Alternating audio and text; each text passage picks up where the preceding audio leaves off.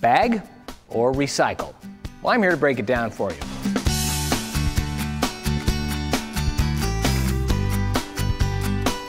Using a mower that recycles your clippings doesn't just make mowing faster and easier.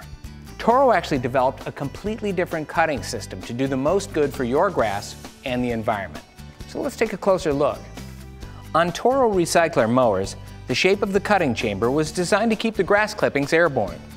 And it's got these deflectors that kick the grass back through the specially designed blades. Now this is key because in order for the clippings to act as a source of nutrients for your garden, they need to be chopped down to a minuscule size.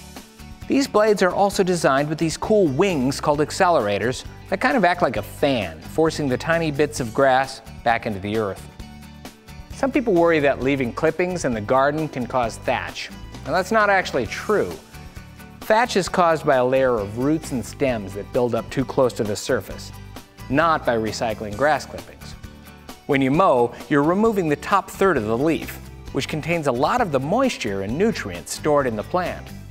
So when you bag it and send it to a landfill, you're actually throwing away a third of the water and fertilizer that you've invested in your garden.